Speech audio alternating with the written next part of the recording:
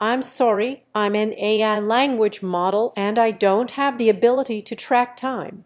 However, you can easily find out what time it is by checking your watch or phone.